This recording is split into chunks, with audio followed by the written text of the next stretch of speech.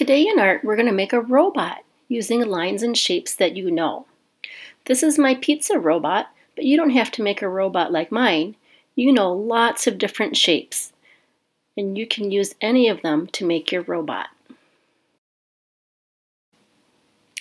I've got my paper the vertical way, and I'm going to draw my head up here at the top. Going to think of some shapes I know. Hmm, a good head shape. Square? Rectangle?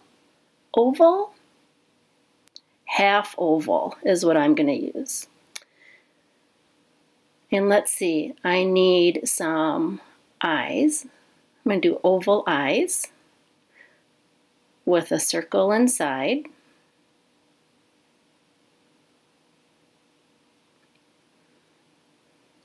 And for a mouth, I'm going to draw a trapezoid.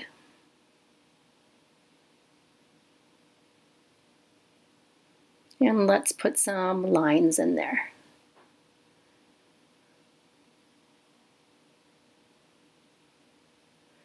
And some rectangles on the sides.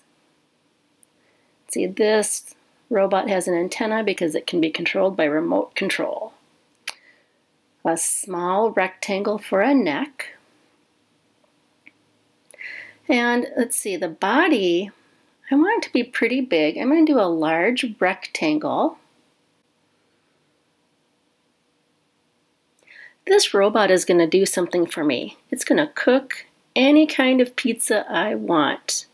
So I need a body that's going to be big enough to have different kinds of control panels in there. Let's see, inside here I'm going to do some smaller shapes. So here's a control panel. I'm going to do a rectangle and then buttons for large, medium, and small pizza. And I'm going to do another control panel over here. And I'm going to do some square buttons for different kinds of toppings. Pepperoni, sausage, green pepper, and small, medium, large. I'm going to really think about the things I, I'm going to need on my control panel. I'm going to do another set of buttons for different veggies. I can do these square, I can do lots of different shapes for my buttons. I know I need an oven, so I'm going to draw a large rectangle down here for the oven and a handle. And I need a temperature gauge so I know how hot it is. And I want to put a timer in. I'm going to do a rectangle over here with some buttons for my timer.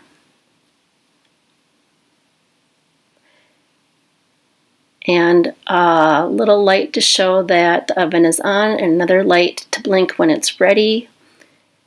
And I need a drawer for paper plates and forks and napkins.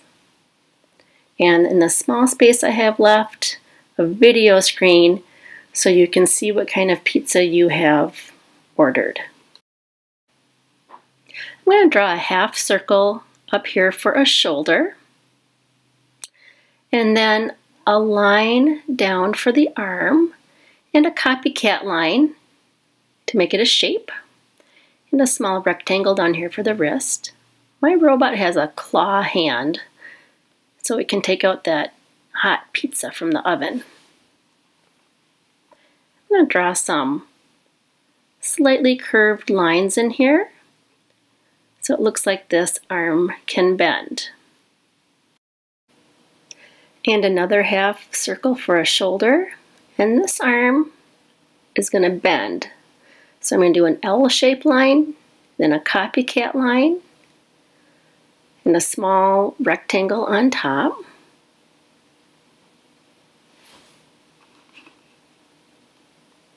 And I'm going to do those lines on the arm to match the other arm. This guy is going to have a hand that can turn into a big tray. So I'm going to draw an oval up here to hold my pizza. And of course I have to draw a pizza.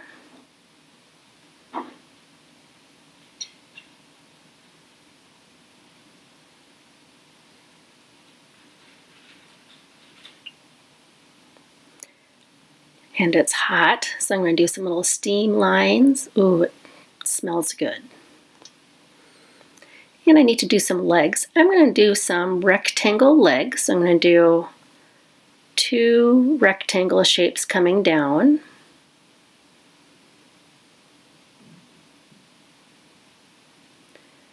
And even though this robot is standing still for the moment, he needs to be able to bend his legs. So I'm going to draw some ovals in where the knees would be.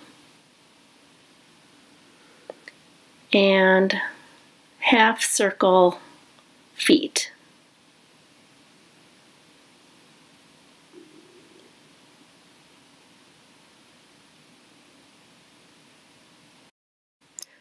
I'm going to put some roller skates on these shoes.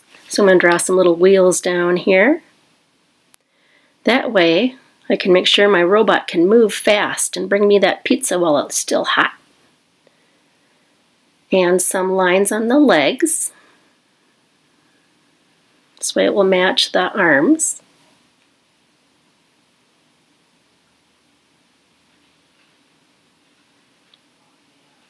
And I'm done with my drawing. I want to give you a couple more ideas for drawing your robot. Do you need a haircut? This robot will cut and style your hair any way you need it. You can see she has a trapezoid head and a half oval body. Here's a sports robot that will help you practice any sport you want. And you can see he has a square head, an oval body, and instead of legs, a wheel so he can move around super fast. When you're done drawing, make sure you color your robot in all the way. Have fun designing your robot